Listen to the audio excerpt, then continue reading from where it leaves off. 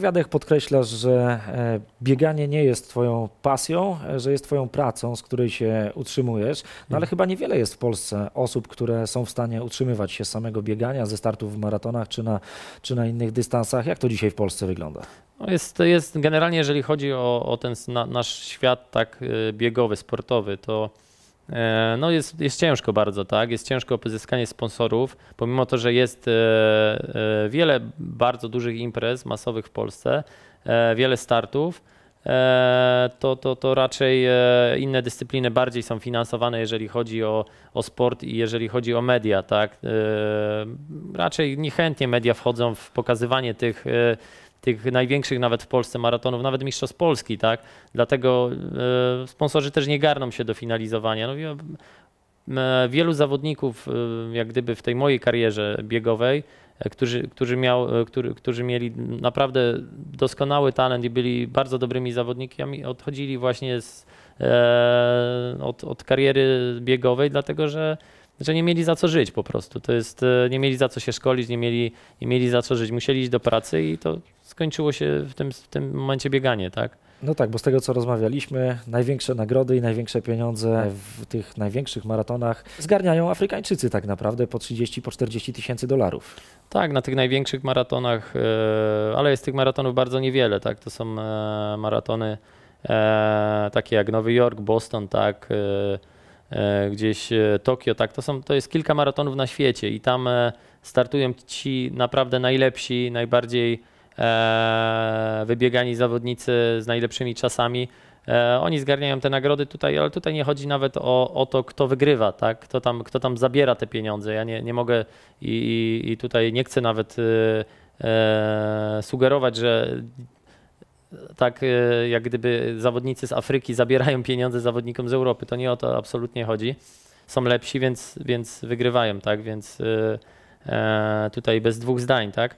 Chodzi o to, że wiele dyscyplin sportowych, ja nie mówię o tylko o bieganiu, ale w Polsce tak jest niedocenianych. Są to, są to też dyscypliny medalodajne, jak to się mówi, tak? czyli medal, dyscypliny, które zdobywają medale na Mistrzostwach Europy, świata. E, no ci, ci zawodnicy są słabo doceniani, tak? jeżeli chodzi o, o, o, o swoje wyniki sportowe. Tu jest, tu jest ten problem. Mam nadzieję, że teraz E, że teraz jakoś będzie się to pomału zmieniało, tak? No bo jak ja jadę do, do Niemiec na przykład i biegałem w tamtym tygodniu maraton we Frankfurcie, gdzie, gdzie zdobyłem dobre, siódme miejsce, wysokie, z bardzo dobrym czasem 2.10.08. E, pomimo tych ciężkich warunków, które w tamtym tygodniu panowały przez orkan, który nawiedził Europę. E, no wszyscy byli zadowoleni, ja nie do końca, tak? E, E, biegałem z Niemcem, który, którego cały czas okręcała kamera, tak? On cały czas był w, w niemieckiej telewizji w głównym planie, tak? E, bo oni dbają o swoich zawodników, chcą ich pokazywać, tak? Dzięki, nie, dzięki temu taki zawodnik ma sponsorów, ma pieniądze na przygotowanie się na szkolenie. Gdyby nie tutaj u mnie, tak? Wojsko Polskie, w którym pracuję, to tak naprawdę nie miałbym też warunków życiowych, tak? I na przykład firma Nike, która mi też pomaga, czy tam Enervit, jest kilka firm, które mi pomagają, jak gdyby, mówię, sprzętowo e, i, i, tylko tak naprawdę finansowo dzięki, dzięki firmie tam Nike trochę i, i, i tutaj wojsku, to, to, to mogę, mogę mogę tak trenować dalej. A sprzęt jest ważny z tego, co czytałem. E, zawsze w każdym maratonie startujesz w nowych butach i tak. tych par butów zużywasz około 10 rocznie. Tak jest, dokładnie. Trochę się tego zużywa i, i dość dużo pieniędzy na to idzie, więc E, no mówię, tych wydatków jest wiele, tak? Jak ty się zapatrujesz na e, zawodników, na ludzi, amatorów, którzy e, biją różnego rodzaju rekordy, na przykład 366 maratonów w ciągu 366 dni, bo takie wyczyny były bite. Ryszard Kałaczyński, Dunka, Anet Freckow robili podobne wyczyny, starali się codziennie, każdego dnia przebiegać te 42 km. Jest to na pewno wielkie wyzwanie, tak, dla tych ludzi.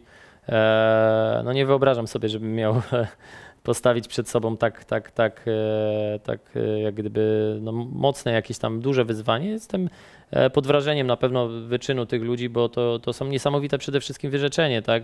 Musimy sobie zdawać sprawę, że ci ludzie nieważne na to, czy jakie były te warunki atmosferyczne, na przykład na zewnątrz, musieli wyjść, tak? musieli wyjść i przebiec 42 kilometry I, i, I tutaj e, naprawdę należą się im słowa uznania, ale to są gdzieś jakieś tam cele, które każdy z nas sobie życiowe stawia, tak? Ktoś przebiega 365 maratonów w roku, a ktoś e, rzuca sobie inne wyzwanie, tak? Nie wiem, przebiegnięcia jak najszybciej, tak? Jakiegoś dystansu, więc każdy ma jakieś swoje cele, tak?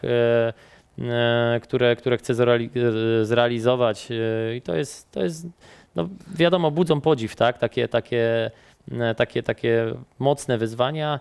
E, no ale tutaj, no mówię, każdy decyduje się na to, więc e, samowolnie, więc brawo dla tych, którzy to robią. Każdy ma swoje cele, ty też masz swoje cele. W ostatnich latach mówiłeś, że twoim wielkim marzeniem jest pobicie rekordu Europy. Myślisz, że to jest ciągle w twoim zasięgu? W tej chwili rekord Europy 2.06.10. Tak, 2.06.10, ale to już nie jest moim zdaniem rekord Europy, tylko rekord Etiopii, dlatego że pobiegł to zawodnik, który dwa lata temu został sprowadzony e, e, do, do, do, do Europy z e, Szwajcar, najprawdopodobniej, o ile się nie mylę, albo któryś z kenijskich Turków, nie znam akurat Turek, nazwiska. Turek, mhm. Turek, tak? No, no to właśnie, to jest Kenijczyk, nie Etiopczyk, przepraszam. E, to znaczy, mm, problem jest w tym też właśnie w Europie, że jest wielu zawodników naturalizowanych, to znaczy, e, to nie są zawodnicy, którzy są jakimikolwiek uchodźcami, tak? To są zawodnicy, którzy w ciągu, nie wiem, dwóch lat e, są opłacani po to, żeby bić rekordy, tak? Żeby ustanawiać dla krajów, które ich sprowadzają, żeby, żeby sprowadzać ich, żeby, bili, żeby, bili, żeby robili jak najlepsze czasy. I tak jak mówię, to są zawodnicy, którzy nie żyją w Europie. Oni mieszkają w e, Kenii, oni mieszkają w Etiopii, oni tam trenują, oni tutaj przyjeżdżają po to tylko, żeby, czyli, żeby poprawiać te wyniki, więc ciężko czyli, będzie. Czyli te szanse rodowitych Europejczyków na to, żeby osiągnąć sensowne wyniki w maratonach. Tak, drastycznie spadają coraz bardziej. Eee, myślę, że, że, że ciężko będzie E, w tym momencie powalczyć na Mistrzostwach Europy z Europejczykiem, można tak powiedzieć, tak? takim rodowitym Europejczykiem. E, no ale to już są, e, to już są jak to się mówi, mm, problemy myślę, że, że jafu, tak, bo mm, za chwilę tak będzie, że to europejskie bieganie przestanie istnieć i to jest widoczne już nie tylko na długich dystansach, nie tylko na maratonie, ale też na krótszych dystansach i mówię, każde państwo chce mieć jakiś medal, tak?